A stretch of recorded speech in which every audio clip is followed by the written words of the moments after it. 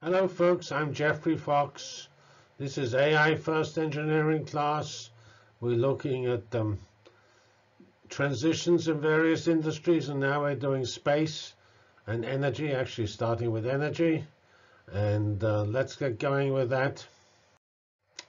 Energy, where the uh, we are of course looking at the impact of IT and deep learning. Uh, though at the level we're doing energy, the difference between deep learning and other forms of AI are not really apparent, but a lot of what we discuss for AI will actually be uh, um, deep learning. All right, now we have a first of six slides um, which describe uh, two interrelated technologies, which aren't trivially interconnected, but are in practice. That's clean energy or use of renewables and microgrids. And the combination is producing, instead of a um, a giant a network of giant power stations, which is the current typical grid model, is producing a more hierarchical structure where lots of small energy uh, sources are linked together as, as microgrids, and those microgrids are fed into a giant distribution system previously the the all the energy was at the upper level and it went down into distributed places. Now you still have going down to distributed places through these hubs, but um, you also go up from the hubs to other hubs. If one area, um, maybe it's very windy, so one area with a lot of wind farms has too much energy and so on. Whereas other energy, other other um, sites which uh, rely on so solar power and there's not much sun need some energy. So we, we have, we need a mix of sources to balance energy production and under all circumstances. All right, so this is described here, the rise of renewables, wind and solar. Uh, both are variable for obvious reasons. Um, and you can't just turn a, turn a knob and get more wind or turn a knob and get more sun. You have what you have. And um, we will discuss a little later on the impact on batteries. And as we pointed out, these um, resources are typically distributed, DERs, and often relatively small scale uh, in any one unit. Um, and also some of them can store energy with the batteries or similar technologies. And some, some monitor energy, some manage energy. And they're all edge technologies in the in the language we're familiar with from uh, the cloud and the and the edge computing environment. And of course, all of this is actually both um, encouraged and enabled by software and that software is driving lots and lots of AI and machine learning. That, that and we'll see examples of how that machine learning uh, slash AI slash deep learning is used to make decisions, to do monitoring, to do optimizations, and so on.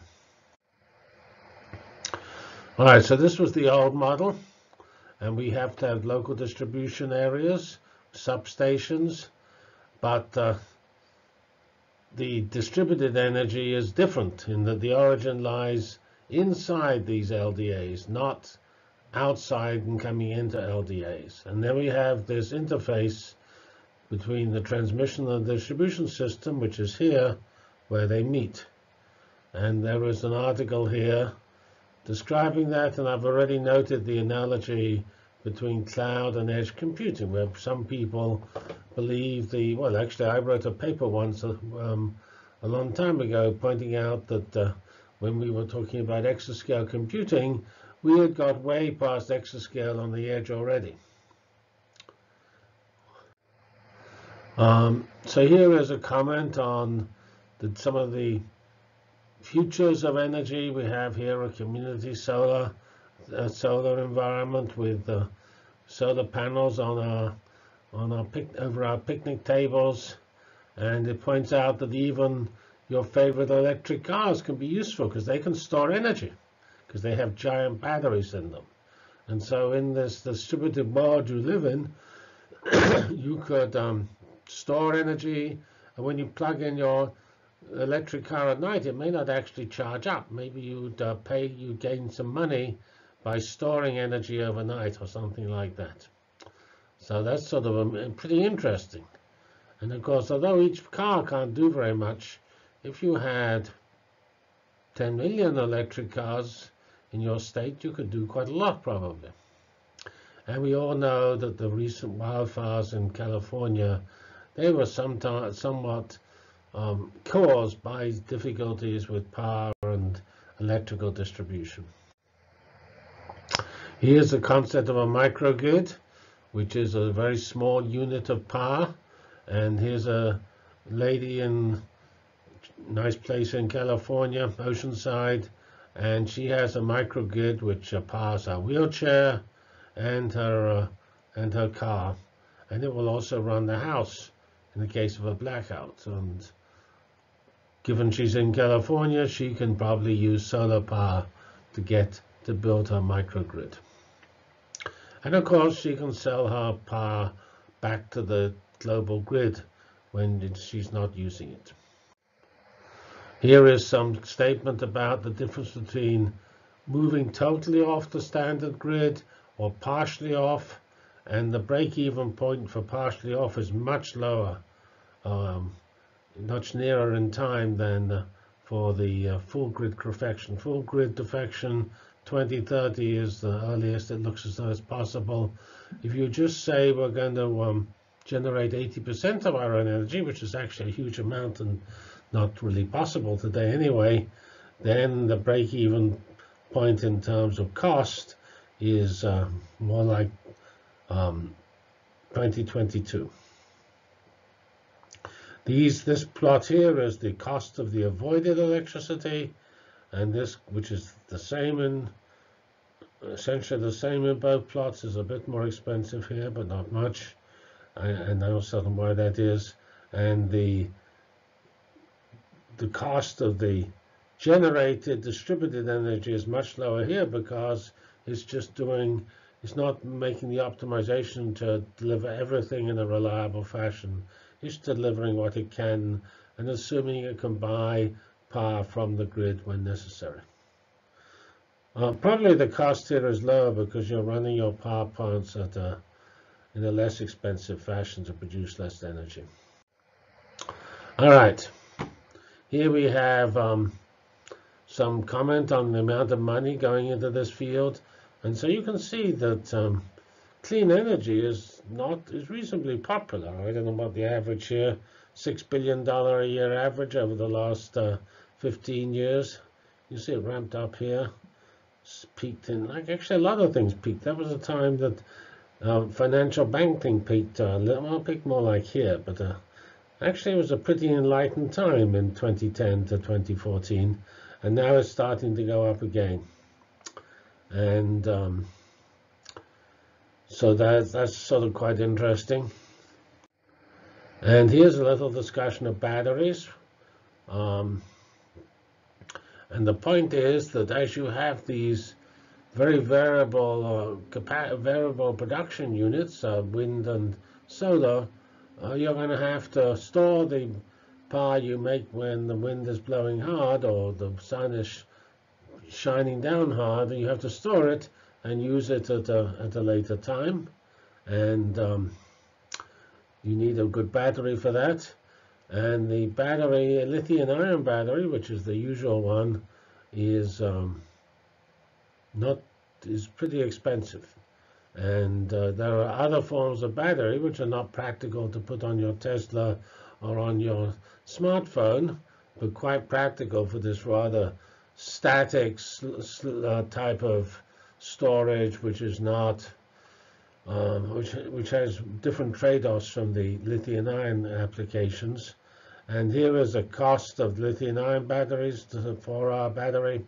And um, we have here it um, cost per kilowatt hour in uh, and it's around uh, 200 um, with various assumptions about um, different uh, models and bad down here are more like well probably less than 10 you have the uh, battery from Form Energy, which is a small company with $50 million money raised, uh, built out of water and sulfur. So this is not something you can put on your Tesla. Uh, we don't want water slushing around at the bottom of our Tesla. And um, and so the once the once the amount of power generated by renewables, and therefore renewables are the same as variables, uh, with the variable production units, then you need more and more desperately need batteries to tide you over the uncertainties. Here is a actually a, a, a battery built out of bricks, and um, it's presumably servicing this wind farm here. Uh, well, here's uh, a few slides about uh, fusion. And fusion's an interesting area because it's been studied for an awful long time, more or less since the end of the Second World War. It's a large activity, especially in the Department of Energy, and people have almost grown to expect fusion to fail. And there's some sort of comment, and maybe, well, we know the government didn't do such so brilliantly in space. And once it's actually commercialized space, an enormous uh, the progress seems to have really accelerated. So you might imagine that um, commercializing fusion could produce some significant improvements. So here's a company, Tokamak Energy, just raised 87 million, and um, they claim to be able to get clean fusion by 2030. And um, here's their uh, particular uh, novel uh, device. This is the so-called tokamak, which is um, has which is the plasma. The plasma is where the uh, atoms which are going to fuse run around, and they have to have huge pressure and temperature and things to actually fuse, and the claim is that um, this company can do it where other where the government has so far just hasn't really succeeded. All right, so here you have um, discussion of fusion as a piece of physics. Normal fusion is hydrogen plus hydrogen become helium, and uh, that releases a lot of energy. And um, you can uh, do this with uh, deuterium and tritium. And uh, it only needs 150 million degrees Celsius. And this thing, which is normally shaped in a toroidal fashion, like a bagel, it's called a tokamak. And there are several tokamaks. They're building a giant new tokamak called ITER in, uh, in Europe. And uh, it, it has this superheated gas containing the deuterium and tritium. That's called plasma. The science studying tokamaks is called plasma physics, and it's all um, contained and things by superconducting magnets, which make the uh, electrons run around in the right fashion, and um, they also heat and heat the gas and things like that. So the tokamak energy you saw had a spherical um, tokamak, and that's a difference from the standard ones, which are toroidal. And um, it's so far got to 15 million. Well, that's not quite 150, but it's somewhere. And we'll have to see how they succeed. Uh, and coming back to actually deep learning, there's a reasonably well-known piece of deep learning connected to this field, which was done by people at the Princeton Plasma Physics Lab and they built the Princeton Fusion Recurrent Neural Network Code, which is uh, published in Nature here, here's Nature, and called Predicting Disruptive Instabilities in Controlled Fusion Plasmas. And so one of the difficulties with um, uh, fusion is that the plasma can become unstable. And if the plasma becomes unstable in a bad fashion, it will actually uh, damage the the um, tokamak and take many months to recover.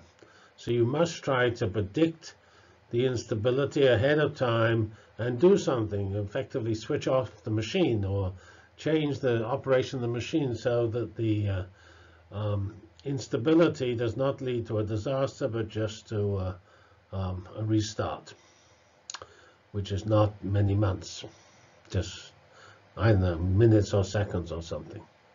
So all right, so that's uh, they designed this nifty uh, neural net shown here. You can see here we have a convolutional neural net uh, that is combined with general information here to form a, a vector, which is um, uh, the 1D features which come from the convolution, 100, length 128.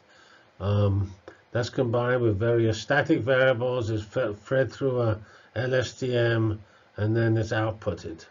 And you train it as to whether or not it's going to produce an instability. And uh, here is the tokamak, and here is the insta here is sort of a picture of the data. So this is done entirely with data at this uh, Jet tokamak. This is not nothing to do with that startup. This is a, a particular tokamak run by um, somewhere in Europe, I believe. Oh, yes, the European Fusion Media Library.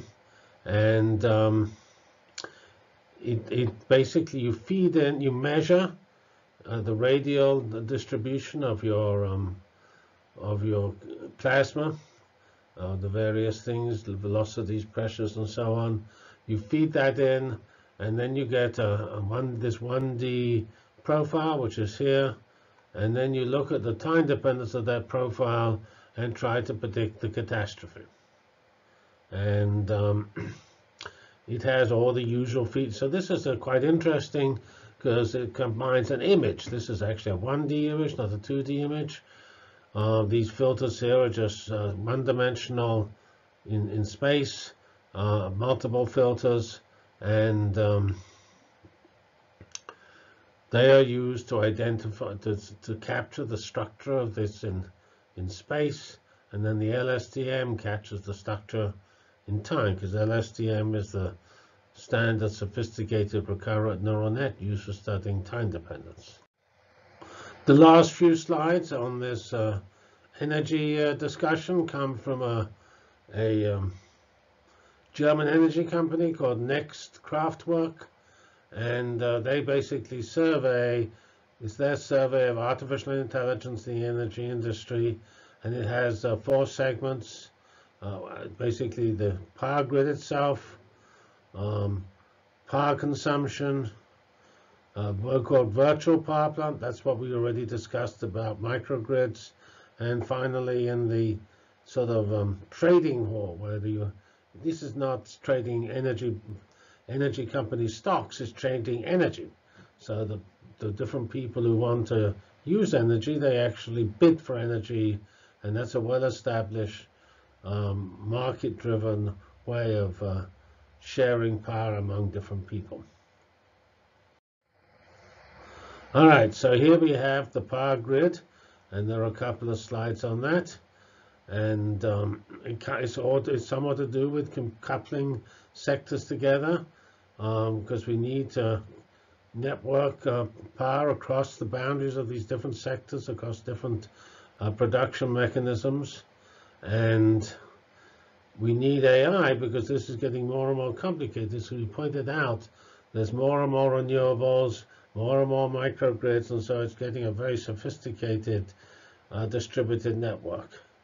Um, Now we have, of course, the concept of a smart power grid or a smart electrical grid, and um, we need to react to the consumption, so we have to measure how much energy is being used and adapt the system about how the energy is routed around and where it's stored and things like that according to consumption. Maybe, maybe it's very hot in some area and the air conditioning is being switched up and so it needs more power and so on.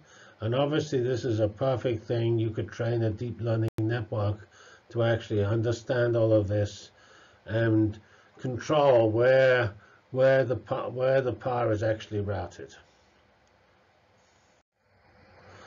Um, here we have another set of um, grid things about um, the fact that we have cars running around carrying energy with them in their batteries.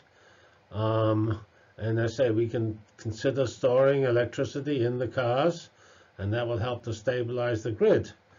Uh, we, you know, here we have a poor old, poor old uh, town in California running out of energy. So you just pour in the Teslas and pump up the electrical power. Uh, now, just as I pointed out that the plasmas become unstable, it's well known that grids can become unstable. There's been some dramatic blackouts coming from instabilities um, when thing when you get resonances and so on. One failure produces multiple failures. And again, AI in this area is obviously uh, important. Fraunhofer Institute must be somewhere in Germany. And um, the whole monitoring and maintenance of the electrical power grid is just sitting there studying signals for anomalies. Perfect for AI. So AI is needed there as well. Here we have uh, this trading. Well, we know that actually AI is pretty useful for stock market trading. Well, if we're trading in electricity rather than stocks, we can also use AI. Uh, and because we have the past data, we can decide how to bid and actually do a, do something which makes a win-win for everybody because uh, people make better use of electricity. And it will also help, you know, the our goal of increasing more and more the amount of renewables in the energy source, because those renewables produce more uncertainties, which uh, a, a, clever AI program can um, help by improving the way we predict the impact of these, these rather variable renewable energy sources. And of course, already I gather AI has, show, has been got better and better in this area. And so we need to actually have less reserve of energy stored.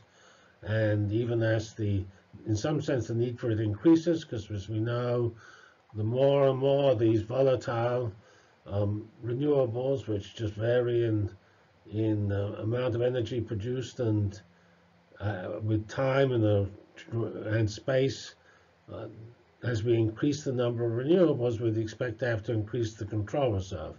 But actually, we've got our AI management of the system has got so much better that is not true. All right, the next, uh, this company I told you was in virtual power plants.